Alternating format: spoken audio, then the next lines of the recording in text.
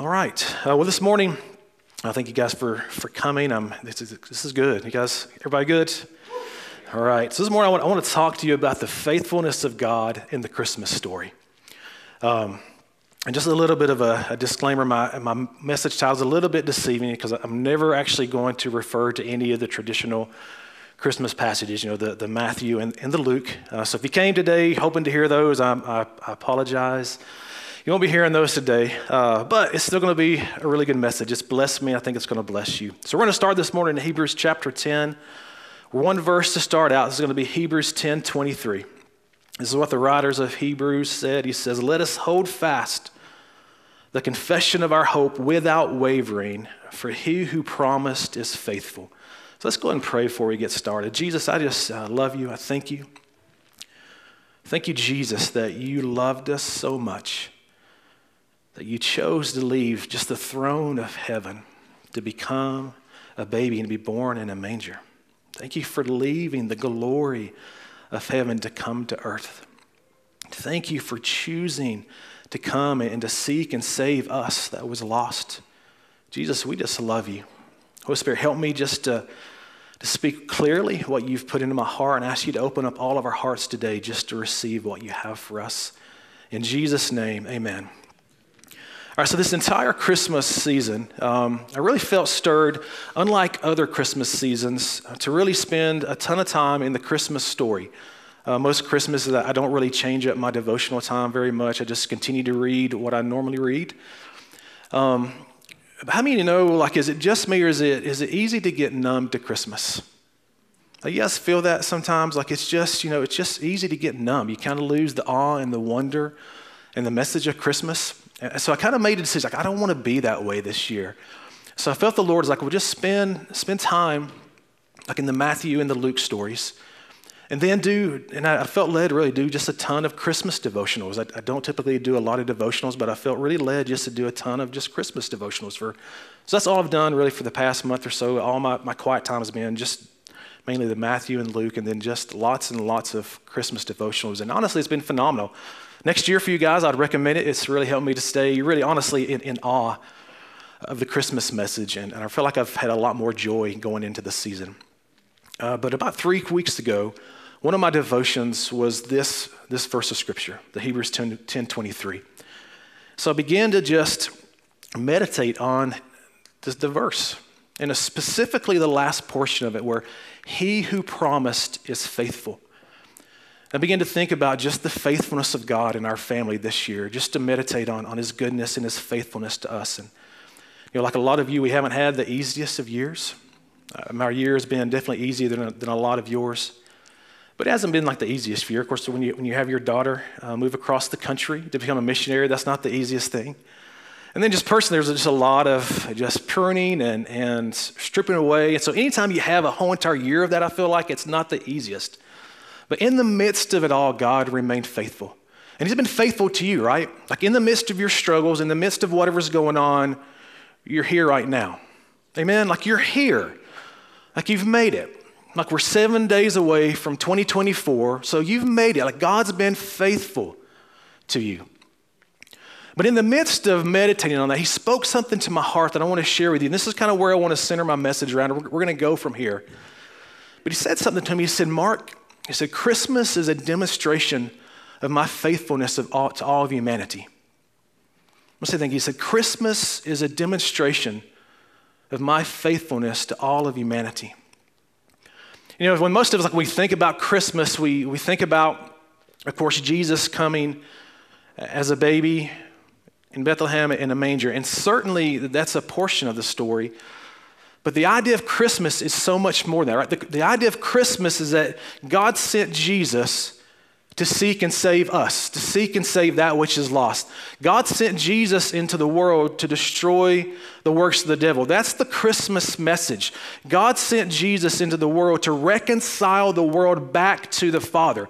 That's the message of Christmas. So, what the Lord began to speak to me and what He showed me, what I want to propose to you, is that the story of Christmas actually doesn't begin with Jesus being born as a baby in Bethlehem.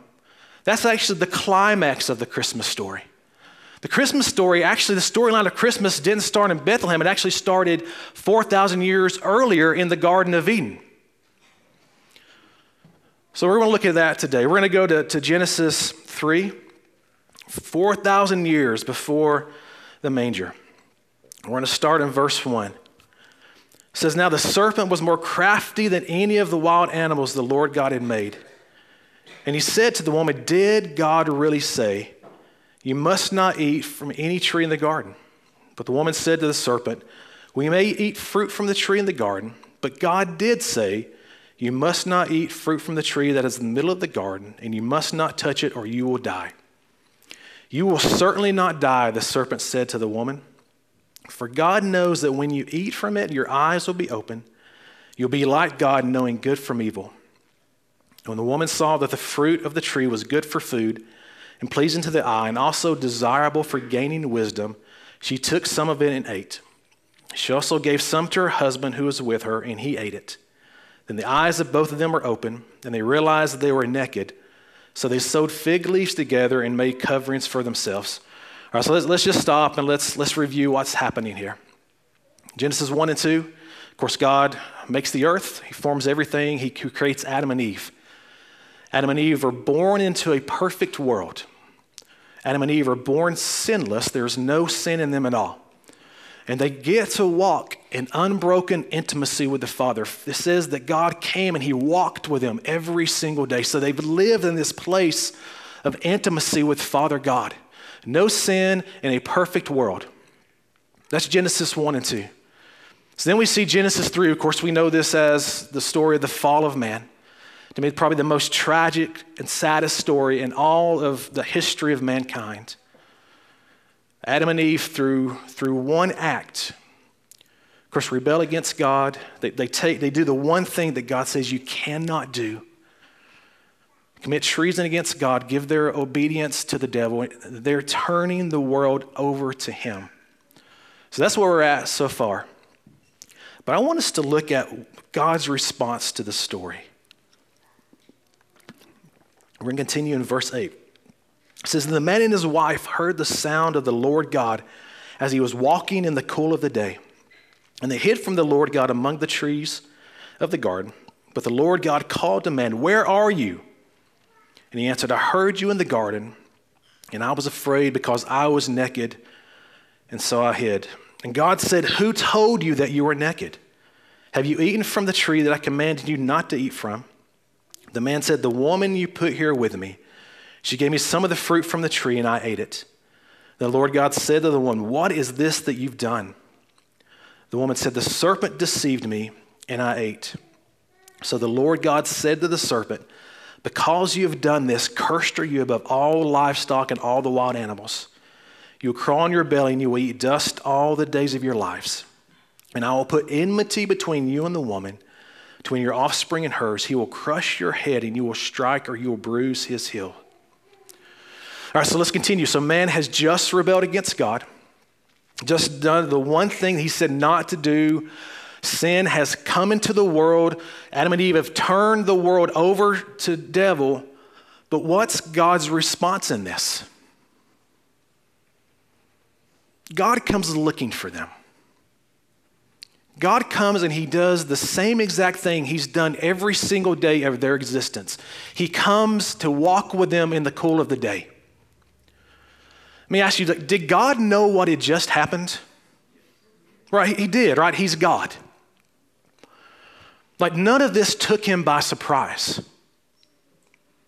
And he knew this day was coming. Like, I, I don't know how far along this is in the creation story, whether it's you know, days, weeks, months, years. I don't, I don't know, but, but God knew this day was coming.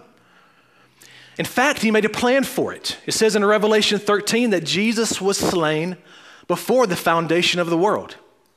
Now, I, don't, I can't begin to understand how that works. Like, uh, my mind can't go there.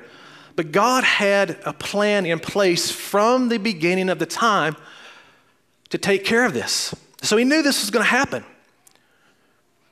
Yeah, even in the midst of what they just did, God goes looking for them. Like we're talking about the faithfulness of God.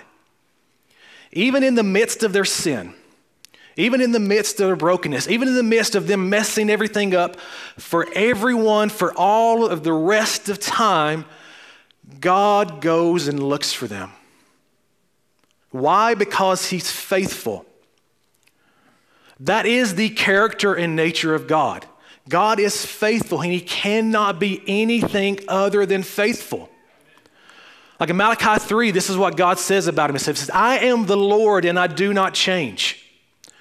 That's really, really good news for us, right? Because if he went looking for Adam and Eve in the midst of their junk, in the midst of royally messing things up for every single one of us, he went and he found them in the midst of their nakedness and their shame, in the midst of their brokenness. Guess what? He'll do it for us too. And not only will he do it for us, he does it for us day after day after day after day after day for all of us. Why? Because it's, it's who He is. He, he can't be anything other than faithful. And not only did He go looking for them, I mean, we continue to read on. Of course, he, he, he gives them the consequences of their sin. Of course, I, I don't want it to make like sound like he, he was just okay with what happened because he wasn't right? He's God. Like there's, there's always consequences to sin. He's never okay with sin. And so he gives them, of course, we know the, the list of all the things that are now going to happen as a result of their sin, all the things that women are going to have to experience, all the things that men are going to have to experience, all the things that you and I continue to live in every single day. He, so he tells them what that is. But what happens next? God makes clothes for them. Isn't that amazing? Like, like he could have just left them to their own devices. Right? I mean, like he had every right to do that. They had just messed everything up. They, they, they caused sin to come in this perfect world. He could have just left them, like, you know, you know what, guys? You obeyed the devil, go with him, do whatever you want. But he chose not to do that, though. He actually makes clothes for them. That's amazing to me. So they, they, you know, they try to do it themselves. You know, so they, it says they, they sewed fig leaves together. So here, like they, out of their own works, they, they make this themselves. But what does God do? Like he gives the, like this, this is what's going to happen because of your sin. But then he, immediately he shows mercy. He covers their shame. He covers their nakedness. And it, and it makes me think of every one of us were, I don't know everybody in, in the room. I don't know what your relationship with this God. I know the majority of you, and, and I know the majority of you, uh, you were just like Adam and Eve, like you were, you were lost in your sin. And God came looking for you, and God came pursuing you. And we all stood before God naked. We all stood before God in our shame. But the minute we said yes, just like these amazing men back here did, what does God do? He clothes us with the robe of righteousness. So we see God doing the same thing to Adam and Eve. Like it's amazing. It's amazing, like the faithfulness of God.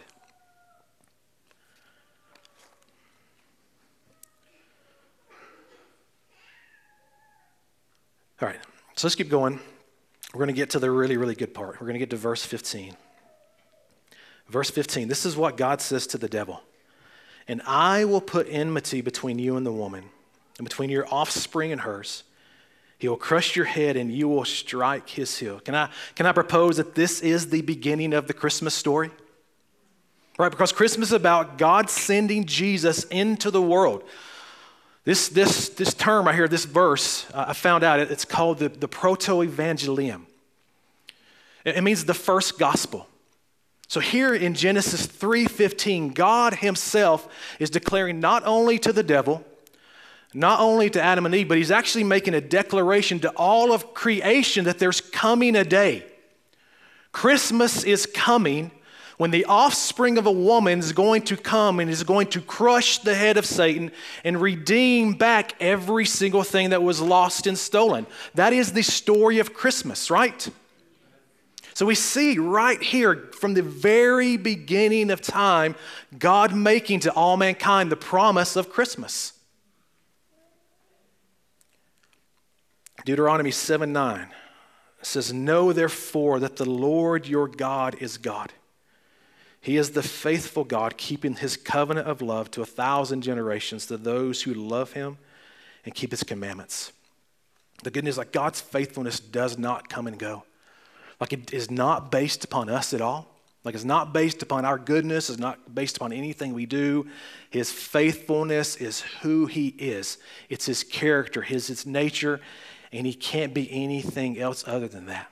Remember, Christmas is a demonstration of God's faithfulness to you and to me. I want to shift gears uh, now. I want us to look at this, all this, the different scriptures that talk about the birth of Christ. So we see here from, from Genesis 3, for the next you know, several thousand years, God begins to tell his people about Christmas. He begins to weave all throughout the whole entire Old Testament all these prophetic promises about the coming of the Messiah. And again, it just shows his faithfulness and the length that he'll go to to save us. All right, Isaiah 7:14.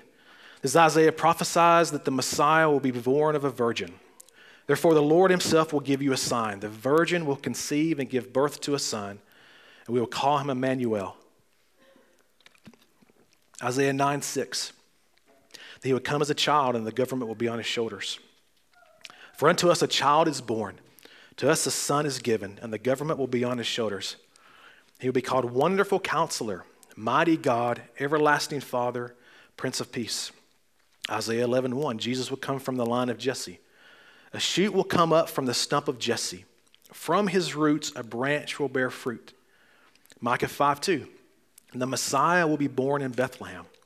But you, Bethlehem, though you are small among the clans of Judah, out of you will come for me one who will be ruler over Israel, whose origins are from old, from ancient times. Hosea 11 1. The Messiah will come out of Egypt. When Israel was a child, I loved him, and out of Egypt I called my son. Jeremiah 23 5 and 6. Jesus would come from the line of David. The days are coming, declares the Lord, when I will raise up for David a righteous branch, a king who will reign wisely and do what is just and right in the land. In his days, Judah will be saved, and Israel will live in safety. This is the name by which he will be called the Lord our righteous Savior. Numbers 24, 17. This is the verse actually that most people believe the Magi used to know that they would be guided by a star. I see him, but not now. I behold him, but not near. A star shall come out of Jacob, a scepter shall rise out of Israel. And like every single one of these were fulfilled. Actually, most believe that there was somewhere between 200 and 400 um, messianic prophecies throughout the Old Testament that Jesus fulfilled. And I want to read you something. Probably a lot of you have heard this. I know Ryan has, has read it in the past. I want to read this to you. It was a study that was done um, through a professor in college and a student, so it's a little bit lengthy. So stay, stay with me. Um, it's going to be good. You're going to be uh, blessed by it. Anyone can make predictions. Having those prophecies fulfilled is vastly different. In fact, the more statements about the future and the more detail, then the less likely the precise fulfillment will be. For example, what's the likelihood of a person predicting today the exact city in which the birth of a future leader would take place well into the 22nd century? This is indeed what the prophet Micah did 700 years before the Messiah. Further, what is the likelihood of predicting the precise manner of death that a new, unknown religious leader would experience a thousand years from now? A manner of death presently unknown and to remain unknown for hundreds of years. Yet this is what David did in 1000 BC. Again, what is the likelihood of predicting the specific date of the appearance of some great leader hundreds of years in advance? This is what Daniel did 530 years before Christ. If one were to conceive 50 specific prophecies about a person in the future whom one would never meet, what's the likelihood that the person will fulfill all 50 of these predictions? How much less likely would it be if 25 of these predictions were about what other people would do to him that were completely out of his control? For example, how does someone arrange to be born in a specific city? How does one arrange to be born in a specified city in which their parents don't actually live? How does one arrange their own death, and specifically by crucifixion with two others, and then arrange to have the executioners gamble for his clothing? How does one arrange to be betrayed in advance? How does one arrange to have the executioners carry out their regular practice of breaking the legs of the two victims on either side, but not their own? How does one escape from a grave and appear to people after having been killed? Indeed, it may be possible for someone to fake one or two of these prophecies, but it may be possible for any one person to arrange and fulfill all these other prophecies. The science of probability attempts to determine the chance that a given event will occur. Professor at Westmont College has calculated the probability of one man fulfilling the major prophecies made concerning the Messiah. These estimates were worked out by 12 different classes representing 600 university students. The students carefully weighed all the factors, discussed each prophecy at length, and examined the various circumstances which might indicate that men had conspired together to fulfill a particular prophecy. They made their estimates conservative enough there was finally unanimous agreement even among the most skeptical students. However, the professor took their estimates, made them even more conservative. He also encouraged other skeptics or scientists to make their own estimates to see if his conclusions were more than fair. Finally, he submitted his figures for review to a committee of the African or African American Scientific Affiliation. Upon examination, they verified that his calculations were dependable and accurate in regard to the scientific material presented. For example, concerning Micah 2, where it states that the Messiah will be born in Bethlehem, the professor and his students determined the average population of Bethlehem from the time of Micah to the present. They then divided it by the average population of the earth during the same time period. They concluded that the chance of one man being born in Bethlehem was one in 300,000. After examining only eight different prophecies, they conservatively estimated the chance of one man fulfilling all eight prophecies was 1 in 10 to the 17th power. So to illustrate how large, large of a number, that's 10 with 17 zeros. So the professor gave this illustration. If you mark one of 10 tickets, place all the tickets in a hat, and thoroughly stir them, then ask a blindfolded man to draw one, his chance of getting the ticket, the right ticket is 1 in 10. Suppose that we take 10 to the 17th power silver dollars, lay them on the face of Texas. They'll cover all the state two feet deep. Now mark one of these silver dollars and stir the whole mass thoroughly all over the state. Blindfold a man and tell him he can travel as far as he wishes, but he must pick up the one silver dollar that has a special mark on it. What would be the chance of him, of him choosing the right one? That was the same chance the prophets would have had of writing just eight prophecies and having them all come true in any one man from their day to the present time. From these figures, the professor concludes the fulfillment of eight prophecies alone, uh, sorry, the fulfillment of eight prophecies alone proves that God inspired the writing of these prophecies and the likelihood of the mere chance is only 1 in 10 to the 17th. Another way of saying this is that any person who minimizes or ignores the significance of the biblical identifying signs concerning the Messiah would be foolish. Christmas is a demonstration of God's faithfulness to all of humanity. Excuse me, I got I'm sorry. Oh gosh, sorry. All right, I want us to go back to our starting verse, Hebrews 10 23. Let us hold fast the confession of our hope without wavering, for he who promised is faithful. You know, in, in, the Greek, the, the term hold fast means to take possession of. And we know that hope means the confident expectation of good to come. So I want to read that verse again, just taking that. So let us read like this. So let us take possession of with a confident expectation of the good things that we were believing God for without wavering or doubting, because God is always faithful to keep his promises. God is always faithful to keep his promises to me and to you. But the reality of that statement, though, takes a lot of faith. All right, it would be nice, it would be really, really nice if, if we could just take God at his face, face value and that everything we read in the Word of God, every promise given to us, like we would just believe. That would be nice. Right, but most of like it takes faith to believe that he remains faithful to us. It takes faith to believe that he's going to fulfill every promise in the Word concerning your life. Why? Because we have an enemy, right?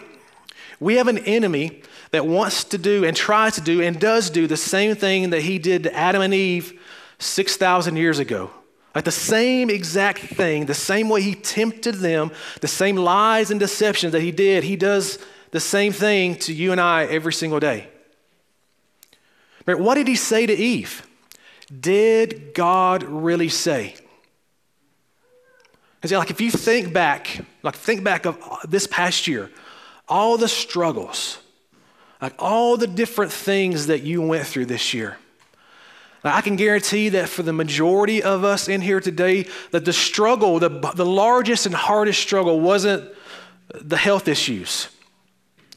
The, the hardest struggle wasn't maybe the finances or, or, the, or the relational or the merit or whatever those issues may be. The, the, probably the hardest struggle you had was to believe, did God really say?